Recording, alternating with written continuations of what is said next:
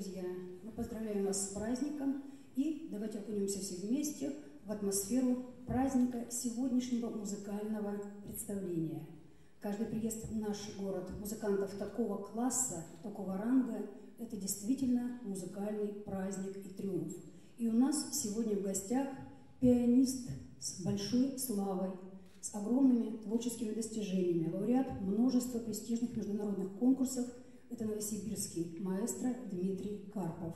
И в союзе с ним выступает виолончелист с мировой славой, прославленный Марк Дробинский, который уже неоднократно выступал в нашем городе. Программа первого отделения – это камерно-инструментальная музыка Фредерика Шопена. Как известно, Шопен очень любил виолончель, хотя все его творческое наследие – это чуть более 200 сочинений для фортепиано.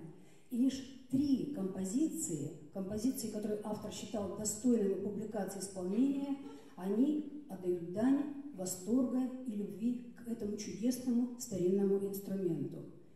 Концерт будет открывать произведение, созданное Шопеном за три года до смерти. Оно закончено в начале 1847 года.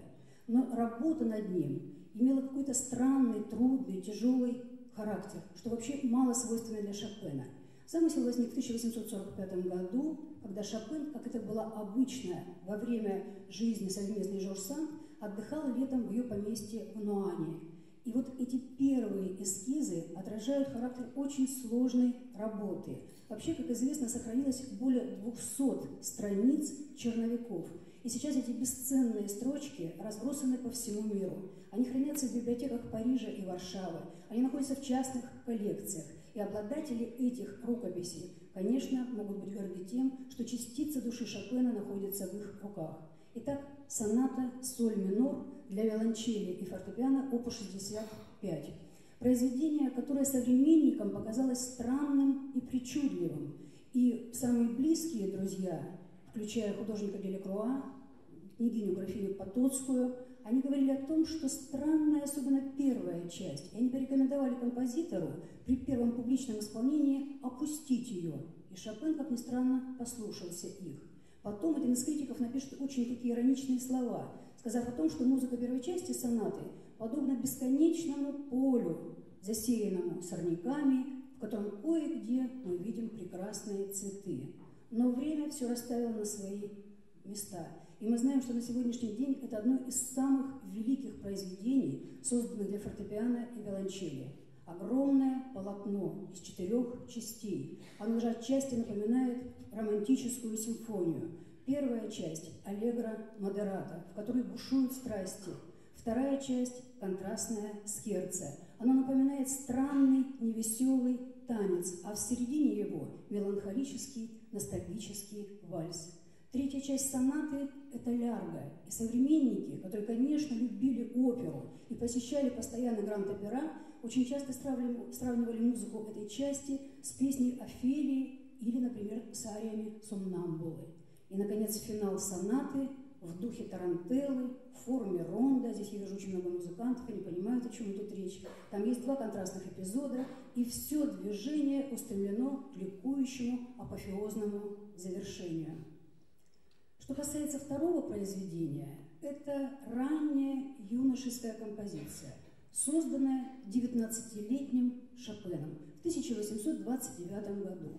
Шопен в это время полон жизни, радости ее. Он только что закончил главную школу музыки в Варшаве и получил оценку из уст своего учителя. Она задокументалирована. Там написано так. Выдающееся дарование, музыкальный гений. Его все любят, он на расхват в любом музыкальном салоне, его произведения печатаются, и он очень часто проводит время, досуг среди своих друзей, в частности, князь Антон Радзивилл.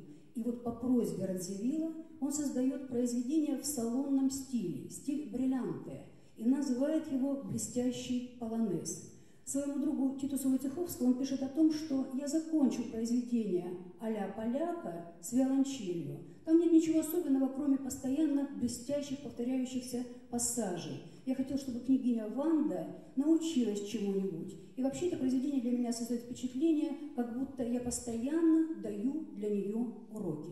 Через полтора года Шопен вновь вернулся к этой композиции и сочинил интродукцию. Возникла совершенно другого рода композиция – интродукция и блестящий полонез. Но далеко не все современники считали, что это произведение отмечено гением, что оно глубокое, психологичное. Этого и не требовалось в то время, потому что молодой Шопен вращается в блестящих салонах Парижа, Вены, и всем нравится эта музыка. Но музыканты 20-го столетия несли маленькие коррективы. Они сделали так, чтобы и партия виолончели, и партия фортепиано были равно блистательны и впечатляли слушателей. Итак, мы с вами слушаем первое произведение Шопена. Соната «Соль минор», опус 65 для виолончели и фортепиано. Исполнители – партия фортепиано, лауреат международных конкурсов Дмитрий Карпов, партия виолончели, лауреат международного конкурса Марк Дробинский. Шопен.